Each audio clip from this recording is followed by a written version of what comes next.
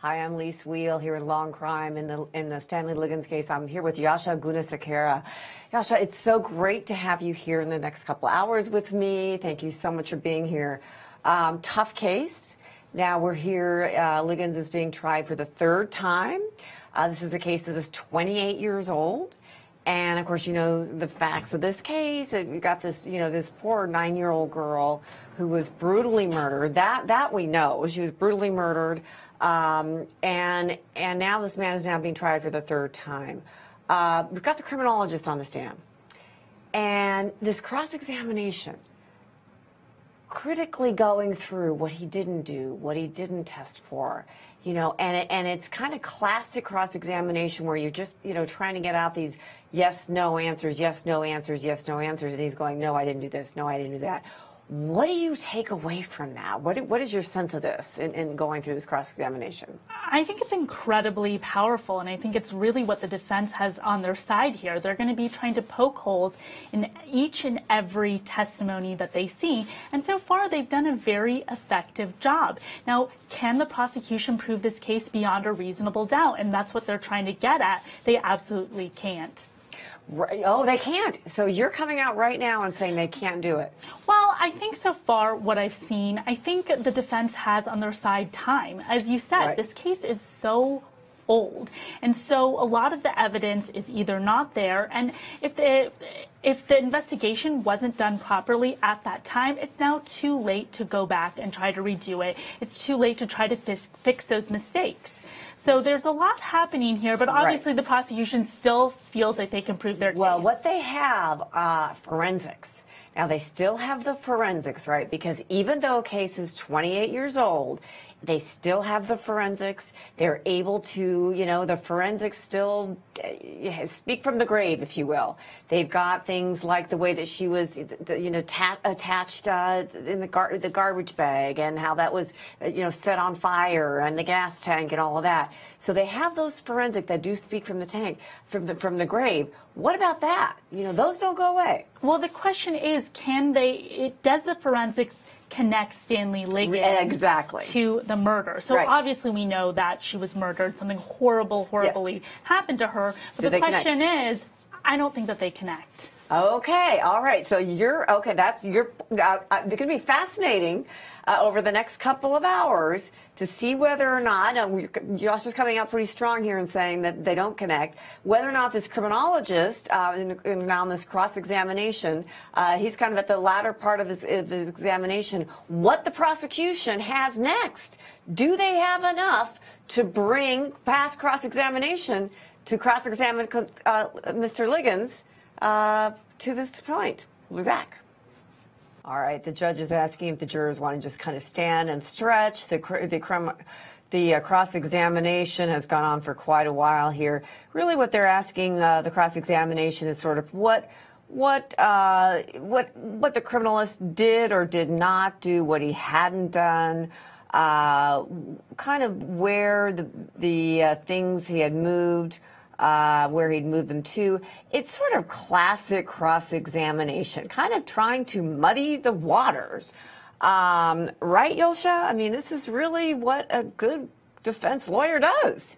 Exactly. They're really trying to capitalize on all the holes, all the things yes. that he didn't do. And he's trying to explain away certain things by saying the technology right. wasn't as good. Right. Um, but again, there's basic keys in doing a proper investigation and that's what they're capitalizing on. You didn't do the basic things. It doesn't matter that technology has changed. There are certain things that you must do in an investigation this serious right. that he simply didn't do. Right right right. And they they are making we we don't know because we're not in the in the minds of the jury but we're sitting here analyzing this and just looking through sort of a, a you know a minute by minute transcript of what he's saying because we're looking getting this here at Law & Crime, and no, I didn't do this. No, I didn't do that. Oh, I didn't think of that. Or I didn't move that. Or, or why didn't you do this? I mean, it's kind of cringeworthy. It's not great, but the prosecution's going to say, of look, course. those uh, were not right. important to the investigation. They didn't need to be done Stanley Liggins was such an obvious um, Right. person, and, and they didn't need to do all of that extra Right, stuff. right, exactly. Now, we just learned that the a jury is going to take a 10 minute break, um, which doesn't surprise me at all because this has gone on for a long time and the jury needs to kind of stretch their minds a little bit, and uh, as, as we all do. Um, but I think that's what that's right. The prosecution is going to come back and almost switch it around a little bit and say, really, sort of into the minds of the jury, defense, that's all you got is to be able to poke holes in something like this where um, they didn't do that because Liggins was so obviously the choice. They didn't need to do any of the other. They didn't. It's like, why would you even look for something else when Liggins was so obviously the one? Exactly, but I, I think the jurors are going to call that bluff because there really isn't a lot of evidence out there right now. Again, it's very circumstantial, and as you mentioned, most of these type of cases are circumstantial. Very few times do we get someone caught red-handed or an eyewitness. But even the circumstantial evidence that they have just isn't enough, in my opinion, to to prove this case to the highest legal standard, uh, which is beyond a reasonable doubt. Exactly. So we'll have to see what they have next, though, because this is not their last witness. Um, so what else they have in store? But I don't think they're going to end with this. I mean, they're going to have something more that they've got. Uh, but I hope that it's going to be more than testimony written, uh, read off, because as you said, that reading of the testimony, even though it was sometimes, uh, you know, eye, eyewitnesses, not eyewitnesses to the crime, but neighbors, for example, kind of dull, and that's part part of the problem. Yes, it's tough, and you, and you start to worry about the jurors um, and, and whether they can pay attention and maintain attention to this very important case. Speaking of paying attention, let's go pay attention to today's top crimes. Hi, I'm Lis Wiehl. I'm here with Yosha Gunasekera. Did I pronounce that correctly? Oh, I'm so glad. Um, and we're here on the Stanley Liggins case. Of course, you know that this is now his third trial for a, a rape and murder of a nine-year-old, little nine-year-old Jennifer back in 1990. A horrible, horrible case. Um, we were talking, Yosha, about why the prosecutors would try him again after two times. They did get convictions both times, but both times those convictions were overturned. One time because they didn't and, I come from a prosecutor stand, uh, viewpoint here. I was a federal prosecutor. One time because they didn't turn over police reports. The second time, because they didn't reveal that somebody put it on the stand had been a paid police informant.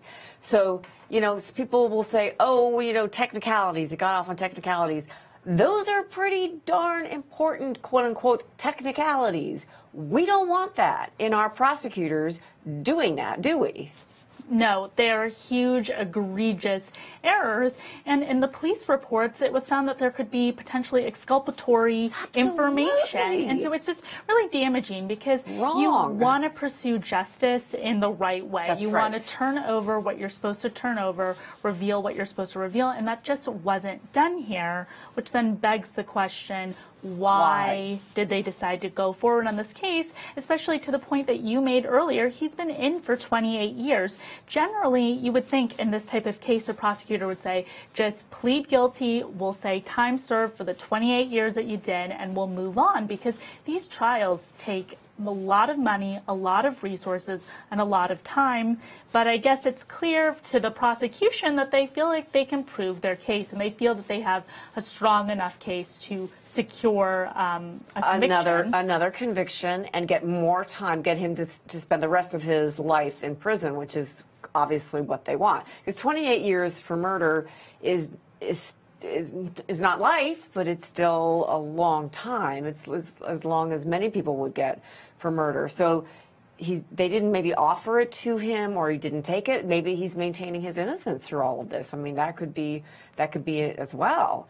Um, but it just seems, I mean, there's just a big question to me of why are they pursuing us? And they two awful, awful, uh, you know, you read, read the appeals. I mean, it's just, I don't understand it. I mean, I, I really don't understand how you can just not turn over. I mean, one report, two reports. Oh, they got they went missing, or they got the wrong file, or something. dozens, 70 plus. I'm sorry. Yeah, it's definitely very unfair to the defense. That's why it was overturned.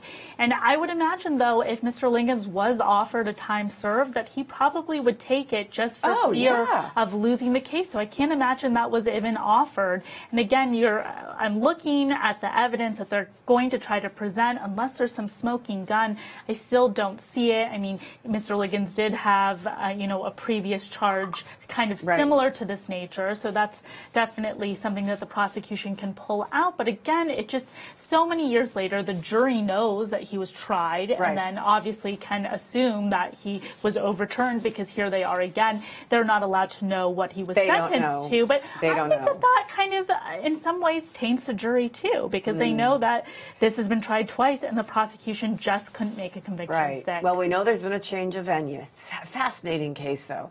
All right, now sometimes, uh, okay. Um, looks like, we're watching the courtroom for you, looks like the jury is coming back in. Uh, you can see it there. We're looking at, look, the jury is coming in. So once we get a witness on the stand, we will definitely go to that. Everybody's standing up right now, so that must mean the jury is coming in, uh, putting a new witness on the stand. Be fascinating, won't it, Yosha, to see who, who they put on the stand. Uh, now, um, whether we go back to the cross-examination of the criminalist, um, everybody's sitting down. Okay, so let's see whether or not uh, we'll actually have. It looks like we're going back to court right now. All right, so let's go back live to the Stanley Liggins case. Looks like we're resuming cross examination. Here we go. Yosha, again, they're fi- finalizing or finishing the cross examination, sort of with classic techniques about what he didn't do. I mean, he's doing the analysis of what finding uh, under her under her skin, under her fingernails. But again, what he didn't do, right? The DNA. Uh, but it's talking about well, what it wasn't available then, the testing wasn't available then, but still, what he didn't do, right? Exactly, and I think it was a very effective cross by the defense because, again, sure, technology has changed, right. but there are basic standards that he has to hold himself to that he didn't do, which is all the more reason why it's surprising that the prosecution decided to move forward on this case because it's weaknesses like this that really poke holes in their overall case. That is, in my opinion, already fairly weak. Well, and this is, he's a critical witness for them. I mean, this is the criminalist. I mean, this is, he, you know, he's, he's talking about the skin scratches, eh, eh, scratches. I mean, this is like, this is really critical stuff. And if he looks bad, as he kind of did here, with all the things that he didn't do, and we're not talking about, you know, 50 years ago, we're talking about 28 years ago. Not, eh, you know, there were certain standards that even, and as you say, even those days, he, did, he didn't appeal to those standards. It looks bad. Exactly. This is the type of case where forensic evidence is going to be so Critical. important Critical. because the circumstantial evidence isn't very good. The circumstantial evidence is that he saw her, there was right. a car that looked like his. And don't, and don't forget, much of the circumstantial evidence is being read in by transcripts. Exactly. So it's not even live, sort of exciting, if you will, circumstantial evidence. It, that's exactly right. And that's why the live um, testimony is so important because this is what's going to grab the jurors' attention. As much as they're going to try to pay attention, listening to someone read something off a piece of paper just, isn't exactly riveting. Right. Well, and the voices are different. You know, you're talking about, you know, somebody is 70 years old and they're, you know, it's being read by a 35 year old. I mean, I'm sorry. It's just a little bit jarring when you're, you're, you're supposed to sort of follow through, but it's just, it's a little bit jarring. So this guy not getting it, I don't know. Yeah, it's it's tough. It's going to be tough for the prosecution, but we'll have to wait and see what else they have. Yeah. Um, okay, exactly that. I mean, Yosha's got it exactly right. That we've got to wait to see what whatever the, what else the prosecution has, um, and we will do that at the other side of this break. So hang with us. We'll be back in the Liggins case on the other side of this break.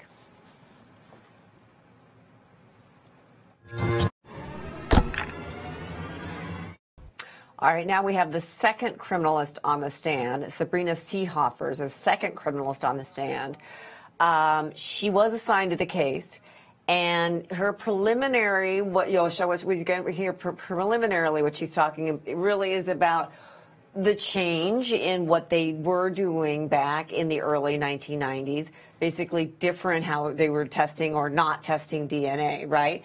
Um, it sounds a little bit, even though she's for the prosecution, to my ear, defensive. Am I getting that incorrectly?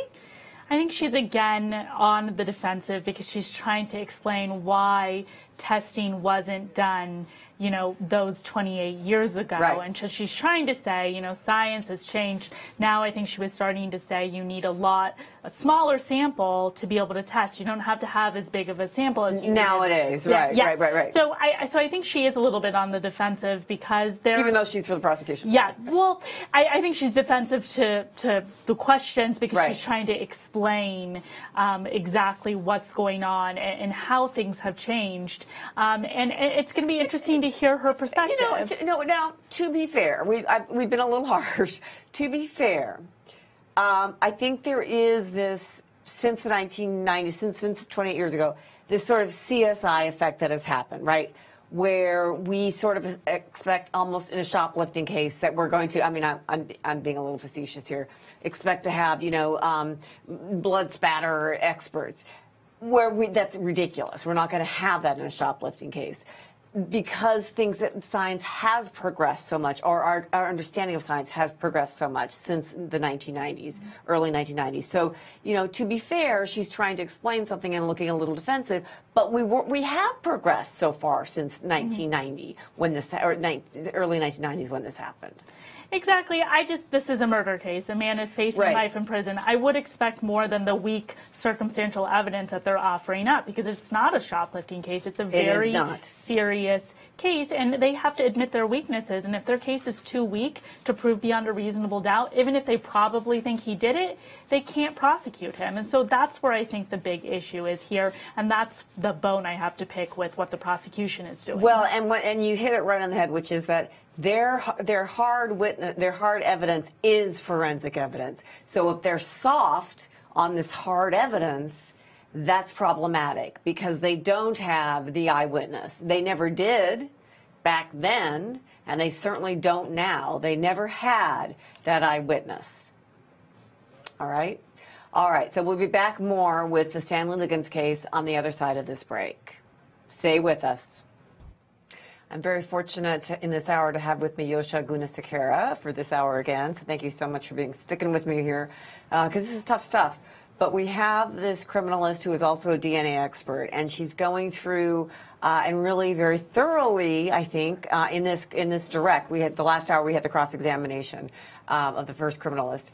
Um, but going through the the what she did in her DNA analysis, and and she's very very well qualified. Was qualified back in, back in the day, and still is. Um, going through what she did then with her known samples and her and her what she had at the at the time, um, but many of her of her exams come through with consistent with conclusive interpreta- inconclusive interpretations, uh, partial profiles. You know, these are not really the most uh, solid examples that you want if you're the prosecution, right? Exactly. It's very vague language, and I'm not a DNA expert, but it sounds a little concerning that these are partial profiles, right. and the defense is going to put on their own DNA expert Correct. to undercut some of the things that she is saying. Right, right.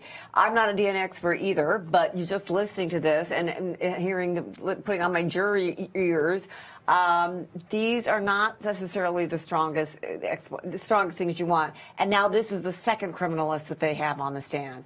So again, uh, we're hearing this is just a direct examination. Defendant has not even defense has not had a chance to cross-examine uh, this defendant. We still are on direct, and we will be coming back to more direct examination after this break. Uh, so stick with us. This is a fascinating case. Again, this is the second, third time that uh, Mr. Liggins has been tried for this brutal murder. Uh, this little Jennifer. We'll be right back after this break. This gets curiouser and curiouser. Professor Zarnetsky, all right, he is a professor of meteorology Now, Yosha, why would they have a prof- this is the pr- the uh, uh, prosecution here, a professor of meteorology? Degradation of the body, the way the DNA. Does this strike you as a little bit desperate for the prosecution? It's very odd to me. I mean, we're trying to figure out the weather in 1990, right. and a meteorologist can't even accurately tell me the weather for today. We were talking about looking at our phones now, and it's supposed to be raining out in New York, and you look at the phone and it tells you it's and it's off for today. It, exactly. It seems very strange because they're looking at charts that predicted the weather, but obviously that's not necessarily accurate, as we all know. And Right. I, this is something that jurors know too. The weather, it's very difficult to predict the weather. So it's interesting that they brought the meteorologist in. Again, it's not even clear yet for what reason that may be. He's a professor of meteorology, so that's your, you know, um, certainly credentials and all of that. Um, my first thinking, especially after we came off a fairly weak, I thought the I thought the DNA expert was stronger than the criminalist um, as far as the two expert witnesses we just had. But then to bring a meteorologist on, where we're all kind of, I mean, if you and I are sort of scratching our heads, and I bet some of our viewers are as well, then you know we're sort of the the other jurors out here. Um, we're not in panel, but if we're all having that reaction, then you know what reaction are they having? Why bring a meteorologist in? The degradation of the DNA. DNA is DNA. You know, so kind of it seems like a little bit of a stretch to me. But hang on, we'll be back after this break for more in the Stanley Liggins case. Hang with us. Right back.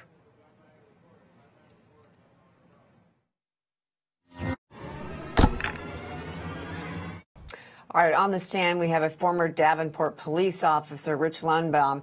So, Yosha, this is just shows one of the um, intricacies and difficulties, actually, of trying a case this, this old, because this Davenport police officer, former Davenport police officer, has to go into his report and read from it about a, a neighbor, somebody who was he was canvassing the area where Jennifer used to live, and look in that report and have this talk about what a woman reading from this report what she saw.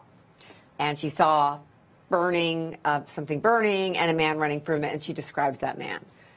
Yes, and the description sounds very vague. It's and and we're hearing the prosecutor almost try to get out more Right. and, and saying, is there anything, Anything else? And then he said no, and he said, well, was there anything about the tennis, Tennis- shoes? right. Which I'm actually surprised that the defense attorneys aren't objecting leading, to. right. Not only because it's leading, but because it's been asked and answered. He said there was nothing else. That's the end of the story. You can't prompt your witnesses into And it's saying all in the report. Exactly, and the prosecution, just like the defense, has time to speak and prepare their witnesses accordingly. So this shouldn't be happening in cases like this, especially with such important pieces of circumstantial evidence. Because Right. if you don't have the forensics, which again is still debatable at this stage, the, str- the strength of the forensics, but really the eyewitness or as close to eyewitness accounts as you can get are so important. So you would think this would be a little better prepared. Right. This is an important witness, even though she, he's reading from, you know, her her words from this report. But she, but it is a description, and the description is somewhat. What you can't say it's a match because it is so vague. But the vagaries do match Liggins. Um, you, you know, anybody can wear the tennis shoe, but but um, the rest of it does match him, and the body, the the burning is you could certainly make the inference is poor little Jennifer's body. So that's pretty that's pretty good evidence, at least that's circumstantial evidence. And of course, we know circumstantial evidence is building these brick upon brick upon brick when you don't have the direct evidence of somebody actually seeing, uh, you know, murder, which is very very rare to have anyway. All right, so very interesting. Uh, thank you for your analysis. Hang with us. We'll be right back on the other side of this break. Stanley Liggins.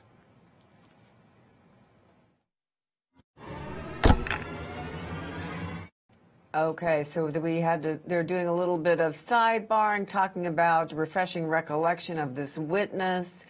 Uh, the on cross-examination, the defense lawyer said, "Would it help you refresh your recollection looking at a report?" Uh, the prosecution asked for a moment uh, with the judge. So that's what's going on right now. Out of our view, they're kind of talking with the judge and, and going over that report. It's really hard, Yosha, when you've got so many reports. You're talking about reports that are so old.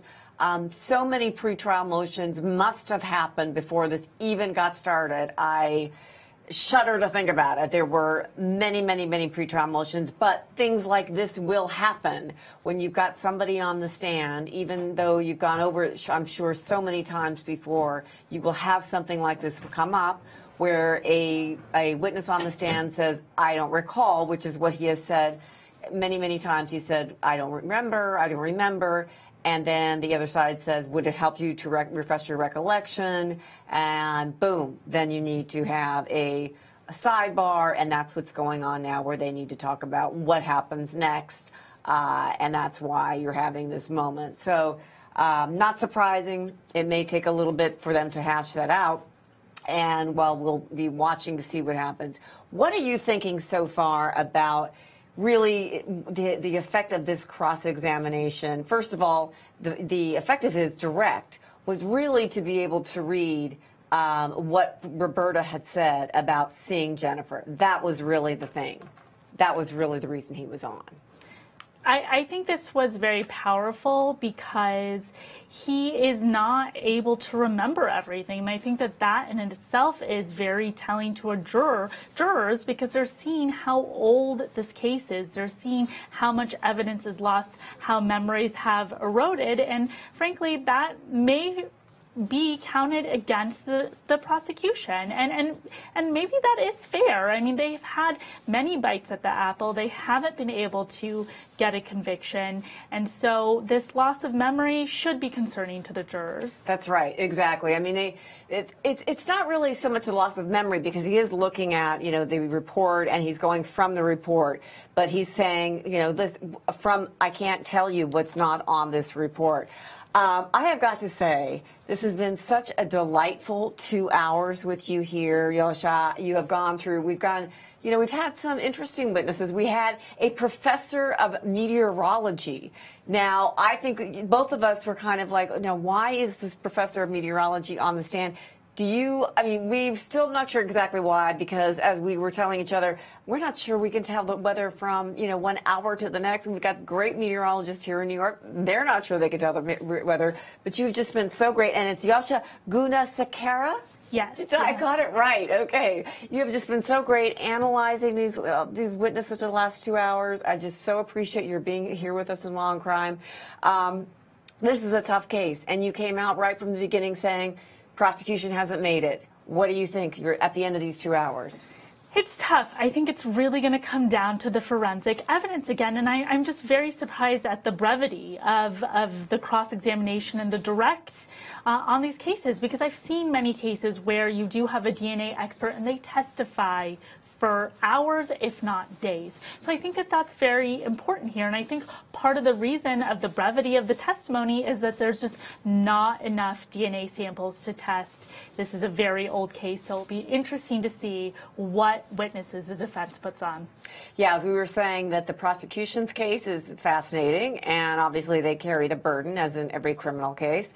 Uh, but we're kind of waiting to see what is the defense going to do here? Because they've been poking a lot of holes. Um, but now, when the prosecution looks to us so that it's sort of winding up, what will the defense be putting on? Uh, they've had two times where they've had these convictions overturned, but now they have a new defense. Uh, a new, you know, will they put the defendant on the stand this time? Who knows? It's going to be very interesting. So follow us in Law and Crime as we continue to follow the Stanley Liggins case. I'm Lis Wiehl signing off for the day. See you next time for Law and Crime.